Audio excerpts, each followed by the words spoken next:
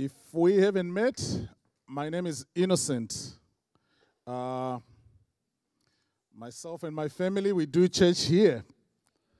And we love coming here. Praise the Lord. And it's an honor this morning to be at the 11 o'clock service. It's my first one preaching at, at the 11 o'clock service. So I'm quite honored and privileged, and I thank God so much for that. I'm going to be sharing a message from the book of Acts. Um, before I we open the verse that we're going to share on, I remember one time in my life where I had a down or a downturn in my life where things went down for me. I had gone to pick up my wife from work, and as we were coming back from, from that place, I got a call from Zimbabwe. I was in England that time. And for most of us who have come away from home, our normal place of where we were born, when you get a call, it always means two things something good is happening, or something terrible has happened. Unfortunately, this time something terrible had happened. I had a message on the phone saying my father had passed away. That was really tough for me. That was really, I honored that man, I loved that man, and I would have loved to be with him at that time when he went, but I couldn't. Last year, around July, I had another call. We had come from church on a Sunday. It was on the 20th, I still remember. And again, this call was bad news. I lost a nephew of mine, my sister's son. And my sister raised me, so we were like brothers, though he was a nephew. And they told me that he had passed away in an accident. He didn't fall sick, so we're not prepared. It was quite a shock. I went in my bedroom and shut myself and just wept and cried out. Have you met disappointment in life?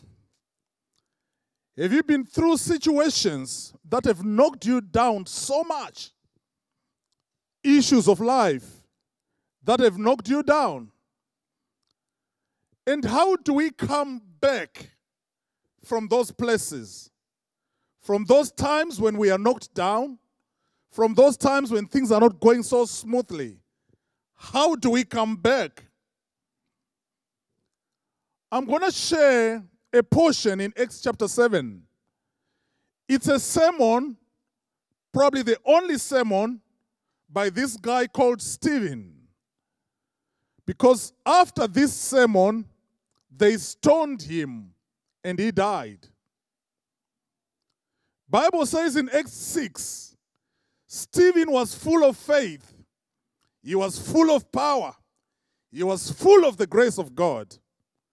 In chapter 7, he gave a good oration of the Old Testament. And after sharing that, they took up some stones and stoned him. We want to meet with him as he's sharing his message on verse 17 of chapter 7.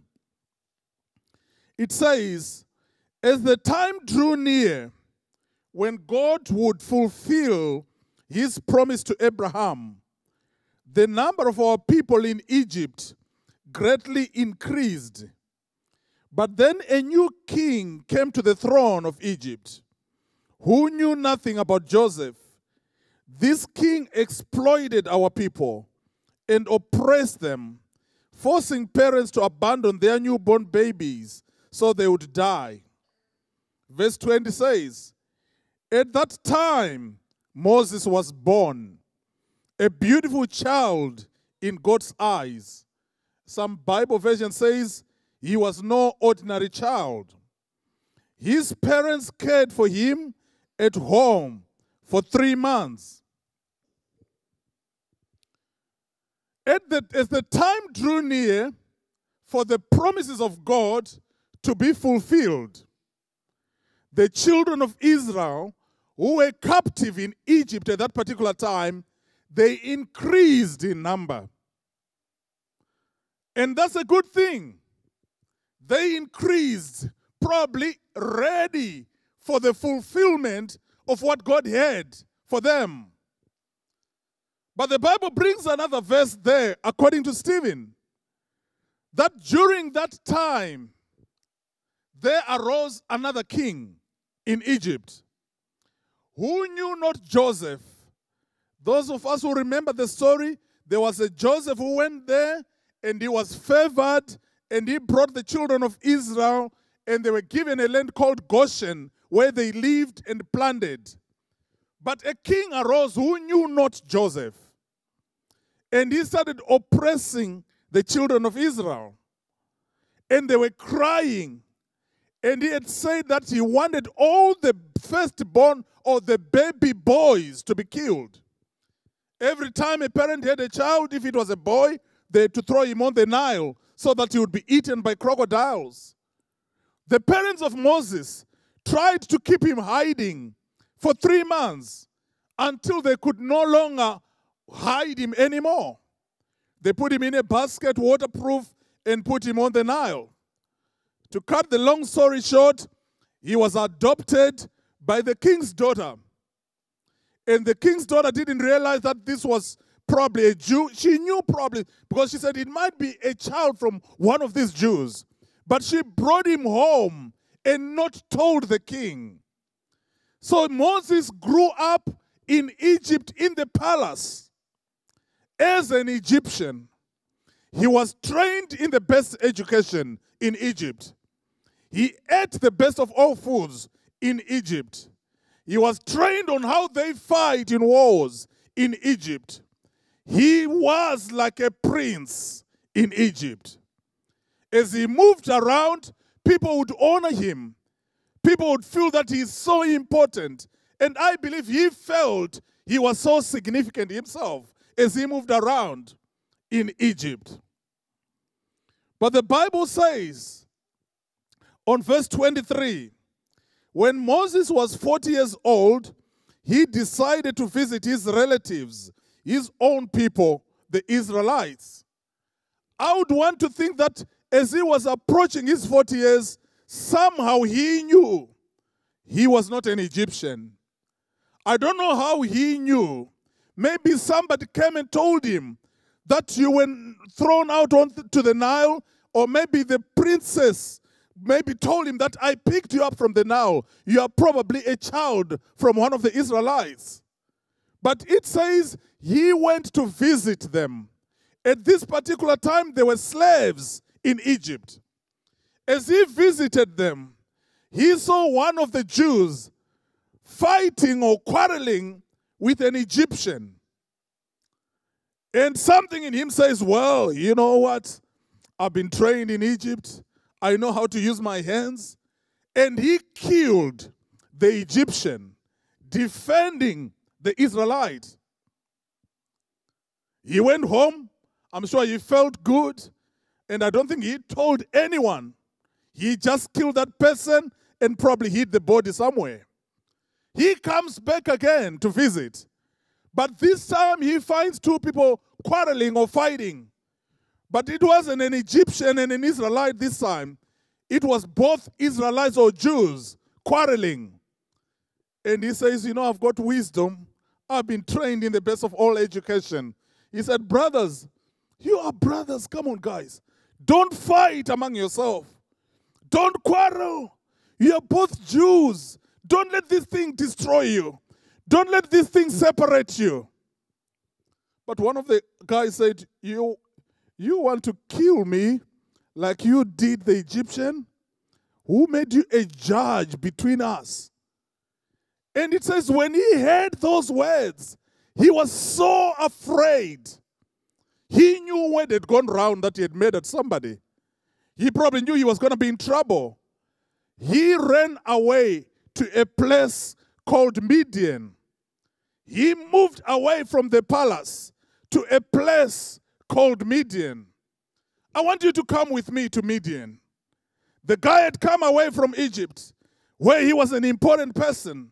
The guy has come out of Egypt, where he was significant, where he ate the choice food. He slept in a nice place, but he ran away to a place called Midian. I want to think he had a bit of time to search his soul when he went to Midian. It was a soul searching time. He didn't live in Midian for one day, it wasn't three days, it wasn't one week, it wasn't three years, but it was 40 years away from the palace, away from significance, away from what people knew him as, as a prince. He went to a place of obscurity where no one knew him. The Bible tells us that he started making a living looking after sheep as a shepherd.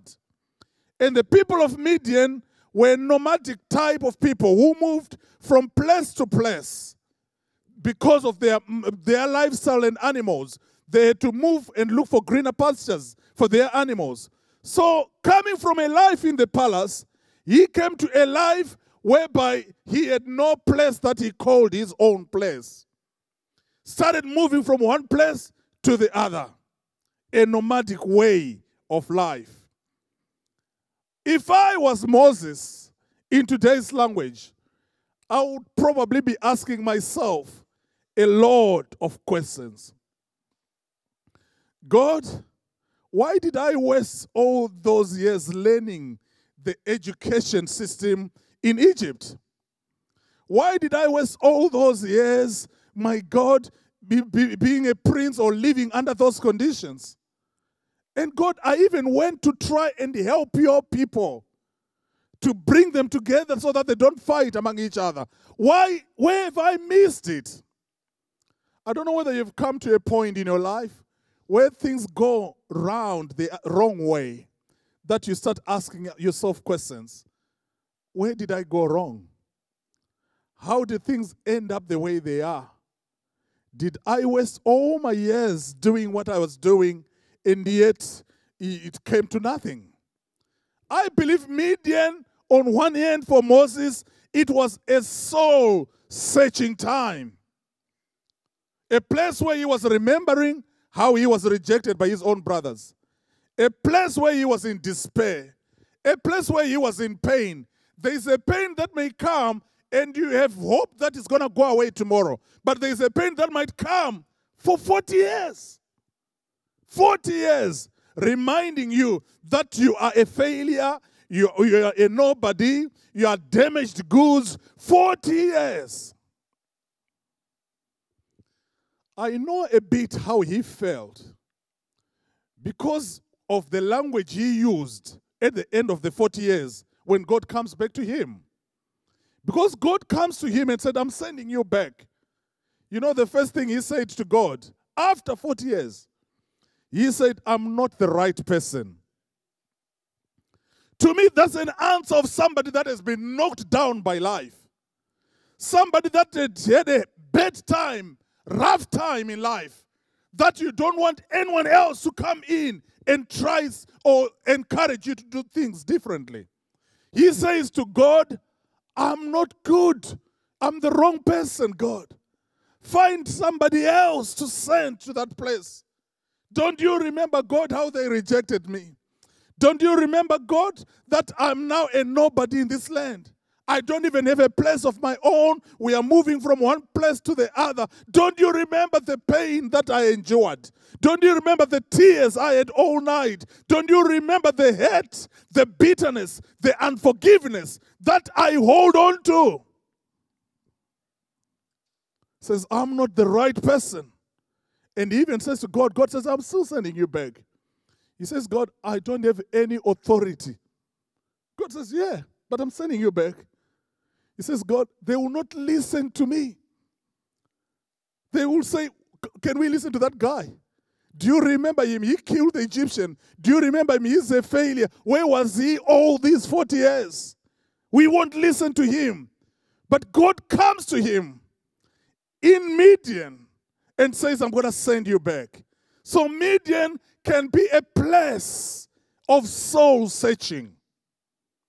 Maybe you are in Midian right now. Maybe I'm speaking to somebody who is in Midian, a place of soul searching. Things have gone wrong in your life, things are not right as we speak. You are wondering how you came to be where you are now. You are wondering where you missed it. Where did things go wrong? But things can be different depending on how you look at things. Because when we first read, the Bible says it was a time whereby the fulfillment of the promises of God were about to happen. But at the same time, it was a time whereby another king was persecuting them. You could look at the time that Moses was born from different angles. I might say Moses was born at a time whereby the king who was there was so rude and cruel, he was killing people. But I might look at it from a different angle. He was born at a time whereby God was about to fulfill stuff. When you look at things that way, you won't care much of how things are happening around you because you are seeing God fulfilling things in your life at that particular time. If I show you, I've got a bottle of water here. It's not full. I've drank a bit of it. If I was to ask some of you how you describe the water in that bottle, I might get roughly two answers or maybe three for some of you. But one of the answers I would get is that that bottle is three quarters empty of a quarter empty, rather, is it? Let's call it half so that I don't do the maths. I say it's half empty. And another person would look at the same bottle and say the bottle is half full. The one who is looking from the empty point of view sees things differently.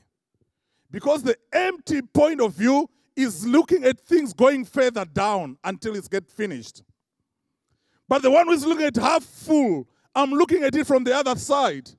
If I put a bit more water, it might get filled up. If I put more water, it might get full again. So it's all about the perspective, how you look at things. Moses was looking, maybe doing soul searching in Midian, but I want to bring it to you that Midian probably could have been a place of growth as well for Moses, a place of preparation for Moses. I know he was prepared during those 40 years because the Bible later described him as the most humble person on earth. How did he learn humility? 40 years of brokenness, 40 years of hard life, 40 years of things going wrong. He learned brokenness. I don't think he was broken the first 40 years when he was a prince because he felt he could solve things. I can kill an Egyptian. I can solve things for you. I live in a palace. But God brought him out to deal with him.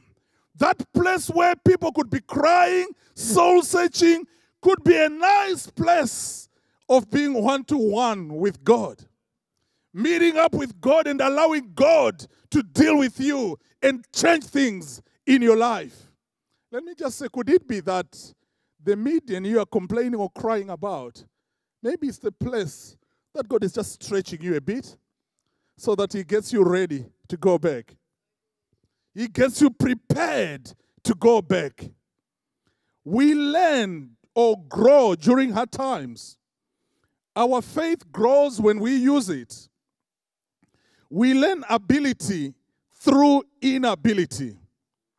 And we realize our dependence on God. Whilst he was in that place, he had a light bulb moment or a burning bush moment.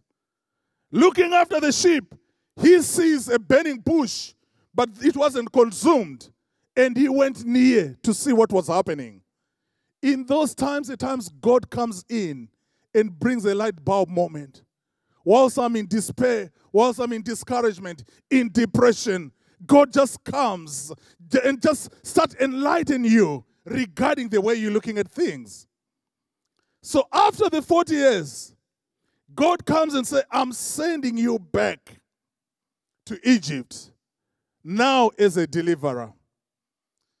When I was down in home in at our village, Every time before we planted crops, we had to take some waste, animal waste, and put it a bit in the fields. So we dig it up and put it in the fields. When you put the animal waste, the manure, the dung, it doesn't smell nice. At times you have to avoid the road going through that place because it smells so bad. But why do people endure the bad smell? Because they know that that manure is releasing some nutrients into the soil and prepare it for a good, good harvest.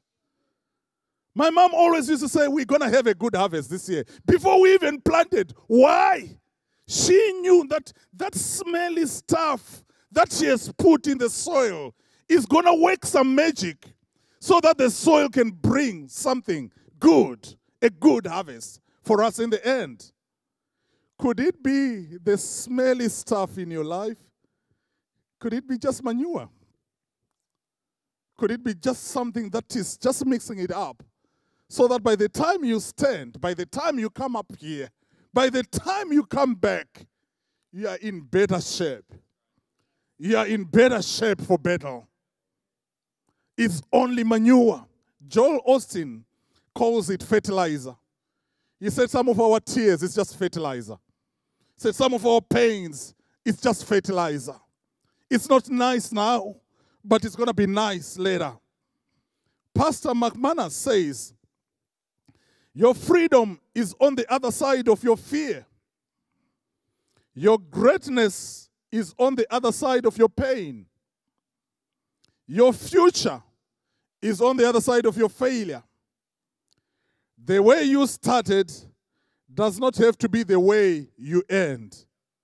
And this is what I'm bringing to you today that the way you are is not the way you will end. But what you are going through, the other side of it, it, is going to be great for you. I'll just call the band to come back, and I might ask you to just stand on your feet before we pray. Glory to Jesus. Thank you, Lord. Let's just stand on our feet. I want to encourage somebody this morning that God is calling you from where you are. And some of us, maybe we have been in Midian for so long that we are stuck. We are seeing no way out. And you're saying, You don't know me. I've been here 40 years. That's your Midian. There is no way out. Things are stuck for you. But God came back for Moses. And I like verse 35 of chapter 7, what it says. The same Moses. The Bible says God came, and it's the same Moses who they rejected in the first place. That's the same person that God is sending back. The same Moses, the same person who was rejected, the same person who had pain issues in his life, the same person who had disappointments, who had a bit of soul searching, the same Moses, the same person. God comes and say, "Get ready. We're going back. Get ready. You're coming out of Midian. We need to go back to Egypt. You are the deliverer that they've been waiting for." And that's the message I'm bringing to you today. Get ready, brother. Get ready, my mom, my brother, my father. Just get ready. You're coming out of Midian because God wants to send you back. The smelly stuff, the fertilizer that you've endured for all this time, God is saying it's time now. Come out. The same you, but God would have transformed you, made you ready for the battle ahead of you. We're going to pray. We're going to pray. Your past shouldn't be your place of residence. It's just a place of reference that I've been there. But that's not where you live. Do not count yourself out. God is saying, I'm changing your perspective. Let's close our eyes. Glory to Jesus. Glory to Jesus. Let's just close our eyes. I'm just giving this a bit of moment for privacy for people whom we want to pray for. The first group I might want us to pray for to this morning you are saying you are so far away from God. God is moved, you have moved away from the presence of God or from His grace. It could be due to situations of life. You have been pounded hard by life and you have moved away from God. You have even grown bitter with God. God is saying He loves you. His hands are still stretched out to receive you. And I want to give you this opportunity to come back to God, to come back to Jesus and say, Lord Jesus, I need you in my life. I've moved far away from you. I'm moving from one place to the other. I'm so unstable, but I need you in my life. He is ready to have you this morning. He is ready to accept you back and send you back this morning. If you're there, you're saying innocent. Before we close, please pray with me. I want to receive Jesus. I want to come back to God. I want Him to be my Lord. I want to give you this opportunity. I want you to raise your hand high where you are standing as we speak. I can see a hand standing up already. Just raise your hand high wherever you are, and we're going to pray with you. I can see a hand at the back there. Bless you. Anyone else? Anyone else? We thank God. Praise God. I can see some hands. Praise God. We're going to pray. Just keep your hand up. Don't be shamed. Just leave your hand up in there. But we're going to pray together with you. I want the whole church to support these people who are raising their hands. And we want to pray this prayer together with them. Raise your hand and say, Lord Jesus. Can you say this after me? All of us, as we support the brethren coming back to God. Say, Lord Jesus, I thank you for my life. I had moved away from you. But thank you, God, that you love me. I'm coming back to the cross. I'm coming back to you. Forgive me of my sins. Make me your child. In Jesus' name. Amen. Whilst we're still praying, maybe you are here as well. You have been coming to church.